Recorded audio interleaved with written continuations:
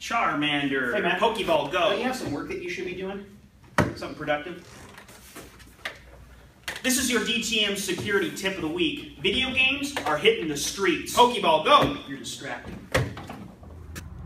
Pokemon Go is a game that's taking over. It's an app you download on your smartphone, and it utilizes the camera on the phone and the screen so you can view what's around you, and there's superimposed little characters from the Pokemon series that people are kind of going after to capture. And so they can go anywhere. They can go to your HOA, they can go to the public park, they can go along the street, and they're just kind of out there searching for these characters.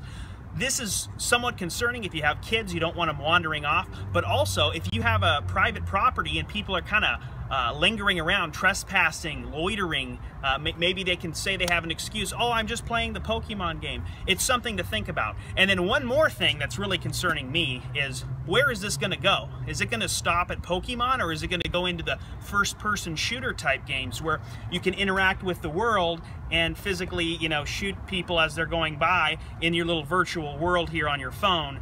Um, that might also um, come along with people uh, dressing up like uh, military guys or carrying the fake guns. So this is just something to think about, um, and it's definitely related to security. Are you still playing that crap?